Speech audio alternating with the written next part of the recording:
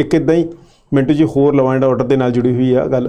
ਬਠਿੰਡਾ ਦੇ ਵਿੱਚ ਹੋਇਆ ਸੀਗਾ ਕੱਲ ਅੱਜ ਖਬਰਾਂ ਵੀ ਲੱਗੀਆਂ ਕਿ ਜੀ ਇੱਕ ਵਪਾਰੀ ਹੈ ਕੋਈ 10 ਲੱਖ ਫਰੌਤੀ ਦੇ ਕੇ ਛੁੱਟ ਕੇ ਆਇਆ ਕਿਡਨੈਪਰਾਂ ਨੇ ਕਿਡਨੈਪ ਕਰ ਲਿਆ ਸੀਗਾ। ਸ਼ਾਇਦ ਤੁਸੀਂ ਵੀ ਖਬਰ ਦੇਖੀ ਕਿ ਬਹੁਤ ਸਾਰੇ ਲੋਕਾਂ ਨੇ ਕੱਲ ਇਹਦੀ ਚਰਚਾ ਸੁਣੀ ਆ। ਹਾਂਜੀ ਹਾਂਜੀ ਉਹ ਅੱਜ ਅਖਬਾਰਾਂ ਦੇ ਵਿੱਚ ਲੱਗੀ ਤੇ ਉਸ ਤੋਂ ਬਾਅਦ ਸੋਸ਼ਲ ਮੀਡੀਆ ਤੇ ਵੀ ਤਾਂ ਖੂਬ ਰੌਲਾ ਰੱਪਾ ਪਿਆ। ਬਠਿੰਡਾ ਪੁਲਿਸ ਨੇ ਉਹਦੇ ਵਿੱਚ ਮਿੰਟੂ ਜੀ ਮਾਮਲਾ ਉਹ ਜਿਹੜਾ ਐਕਸਪੋਜ਼ ਕਰ ਦਿੱਤਾ ਸਾਰਾ।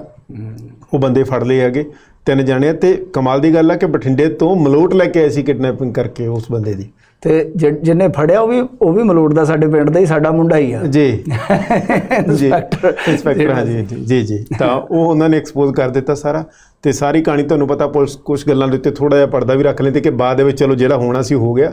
ਕੁਝ ਗੱਲਾਂ ਕਿ ਯਾਰ ਬਾਅਦ ਦੇ ਵਿੱਚ ਆ ਕੇ ਉੱਥੋਂ ਛੁੱਟ ਕੇ ਆ ਗਿਆ। ਜਿਹੜਾ ਹੁੰਦਾ ਨਾ ਮਾਫ ਕਰਨਾ ਮੈਂ ਤੁਹਾਨੂੰ ਰੋਕ ਰਿਹਾ। ਜਦੋਂ ਕਿਡਨੈਪ ਹੋ ਗਿਆ ਕਿਡਨੈਪ ਕੀਤਾ ਬੰਦਾ। ਇਹ ਹੁੰਦਾ ਫਰੌਤੀ ਸ਼ਬਦ ਅਸਲੀ ਇਹ ਇਹਦੇ ਲਈ ਵਰਤਿਆ ਜਾਂਦਾ ਕਿ ਕੋਈ ਬੰਦਾ ਕਹਿੰਦਾ ਕਿ ਰਕਮ ਲਿਆ ਜਾਂ ਸਾਡੀ ਆ ਡਿਮਾਂਡ ਪੂਰੀ ਕਰ ਦੇ ਬੰਦਾ ਛੱਡ ਦਾਂਗੇ। ਜਦੋਂ ਇਸ ਤਰ੍ਹਾਂ ਦੀ ਸਿਚੁਏਸ਼ਨ ਹੁੰਦੀ ਹੈ ਪੁਲਿਸ ਲਈ ਚੈਲੰਜ ਹੁੰਦਾ ਹੈ ਕਿ ਬੰਦਾ ਯਾਰ ਅਸੀਂ ਜਿਉਂਦਾ ਬਰਾਮਦ ਕਰਨਾ ਹੈ। ਜੀ। ਬੰਦਾ ਬੰਦਾ ਬਚਾ ਕੇ ਹੀ ਕੇਸ ਤੁਸੀਂ ਇੱਕ ਤਰ੍ਹਾਂ ਨਾਲ ਕਹਿ ਲਓ ਕਿ ਵਧੀਆ ਢੰਗ ਨਾਲ ਨਜਿੱਠੋਗੇ ਜੇ ਬੰਦਾ ਹੀ ਮਰ ਗਿਆ। ਜੀ। ਦੋਸ਼ੀ ਫੜ ਵੀ ਲਏ ਤੁਸੀਂ।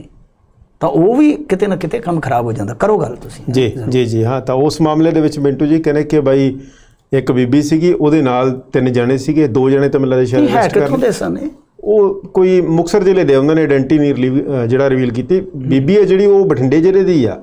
ਉਹਦਾ ਕਹਿੰਦੇ ਕਿ ਬਾਈ ਉਹ ਬੰਦਾ ਫਾਈਨੈਂਸ ਦਾ ਕੰਮਕਾਜ ਕਰਦਾ ਸੀਗਾ ਉਹਨਾਂ ਨੂੰ ਲੱਗਿਆ ਕਿ ਇਹਦੇ ਕੋਲੇ ਪੈਸੇ ਟੱਕੇ ਹੈਗੇ ਨੇਗੇ ਤੇ ਉਹ ਉਹਨੂੰ ਬੁਲਾਇਆ। ਤੇ ਬੁਲਾ ਕੇ ਕਹਿੰਦੇ ਕਿ ਉੱਥੇ ਬੰਦੇ ਲਿਆਂਦੇ।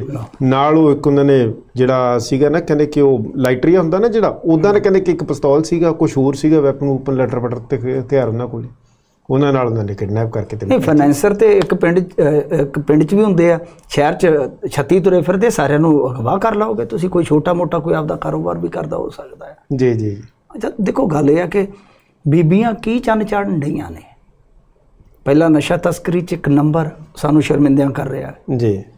ਉਹ ਅਖਬਾਰ ਨੇ ਛਾਪਿਆ ਸੀ ਇੱਕ ਨੇ ਤੁਹਾਨੂੰ ਯਾਦ ਹੋਣਾ ਆਪਾਂ ਉਹਦੀ ਗੱਲ ਵੀ ਕੀਤੀ ਸੀ ਵਿਸਤਾਰ ਸਹਿਤ। ਫਿਰ ਬੀਬੀਆਂ ਹੁਣ ਆ ਕੁੜੀ ਬਠਿੰਡੇ ਤੁਹਾਨੂੰ ਪਤਾ ਗਲ ਕੇ ਮਰੀ ਇੱਕ ਚਟੇ ਨਾਲ। ਜੀ। ਗੱਲਾਂ ਕਰਨੀਆਂ ਬਣਦੀਆਂ ਨਹੀਂ ਪਰ ਕਰਨੀਆਂ ਜ਼ਰੂਰੀ ਹੁੰਦੀਆਂ ਨੇ ਕਈ ਵਾਰ। ਅੱਛਾ ਉਸ ਤੋਂ ਬਾਅਦ ਆ ਮਾਨਸੇ ਉਹ ਮੁੰਡਾ ਹੀ ਮਾਰ ਕੇ ਸੁੱਟ ਗਿਆ ਜੀ ਛੋਟਾ ਜਿਹਾ ਬੱਚਾ। ਇਹਨਾਂ ਨੂੰ ਹੋਇਆ ਕੀ ਹੈ ਜਿਹੜੀਆਂ ਇਸ ਤਰ੍ਹਾਂ ਦੀਆਂ, ਮਤਲਬ ਕਿ ਸਾਰਾ ਹੀ ਅਸੀਂ ਨਾਰੀ ਸਮਾਜ ਨੂੰ ਨਹੀਂ ਕਹਿ ਸਕਦੇ, ਪਰ ਜੋ ਇਹ ਵਿੱਚੋਂ ਇਸ ਤਰ੍ਹਾਂ ਮਤਲਬ ਕਿ ਕ੍ਰਿਮੀਨਲ ਰੁਚੀਆਂ ਨਿਕਲ ਰਹੀਆਂ ਨੇ, ਬੀਬੀਆਂ ਚ ਖਾਸ ਤੌਰ ਤੇ, ਕਿਉਂਕਿ ਅੱਗੇ ਵੀ ਹੁੰਦੇ ਸਨ। ਜਨਾਨਾ ਜੇਲ੍ਹਾਂ ਦੇ ਵਿੱਚ ਕੋਈ ਹੋਰ ਤਾਂ ਨਹੀਂ ਸੀ ਰਹਿੰਦਾ। ਜਨਾਨਾ ਜੇਲ੍ਹਾਂ 'ਚ ਵੀ ਜੇ ਜਨਾਨੀਆਂ ਹੀ ਹੁੰਦੀਆਂ ਸਨ ਅੱਗੇ ਵੀ। ਜਨਾਨਾ ਜੇਲ੍ਹਾਂ ਤਾਂ ਅੱਗੇ ਬਹੁਤ ਲੰਬੇ ਸਮੇਂ ਤੋਂ ਆ। ਪਰ ਉਹ ਕੋਈ ਟਾਵਾ ਵਿਰਲਾ ਸੀਗਾ ਨਾ।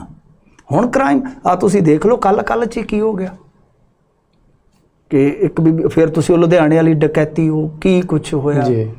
ਉਹ ਇੱਕ ਪੰਜਾਬਣ ਨੂੰ ਕਿੱਥੋਂ ਤੱਕ ਉਹ ਕਹਿ ਲੋ ਕਿ ਬਦਨਾਮੀ ਚੱਲਣੀ ਪਈ ਉਹ ਕੀ ਉਹਨੂੰ ਉਦੋਂ ਪੁਲਿਸ ਮੁਖੀ ਸੀ ਜਿਹੜੇ ਲੁਧਿਆਣੇ ਦੇ ਉਹਨਾਂ ਨੇ ਖਿਤਾਬ ਦੇ ਦਿੱਤਾ। ਹਾਂ ਸਿੱਧੂ ਸਾਹਿਬ ਹਸੀਨ ਸੁੰਦਰੀ ਕਿ ਕਿਹੜੀ ਡਾਕੂ ਸੁੰਦਰੀ ਕਿ ਪਤਾ ਨਹੀਂ ਕਿਹਾ ਤਾਂ ਮਤਲਬ ਕਿ ਇਹ ਇਹ ਸਮਝ ਤੋਂ ਬਾਹਰ ਆ ਕਿ ਹੁਣ ਕਿਡਨੈਪਿੰਗ ਦੇ ਵਿੱਚ ਵੀ ਤੁਸੀਂ ਹੱਥ ਅਜਮਾਉਣ ਲੱਗ ਪਈਆਂ ਜੇ।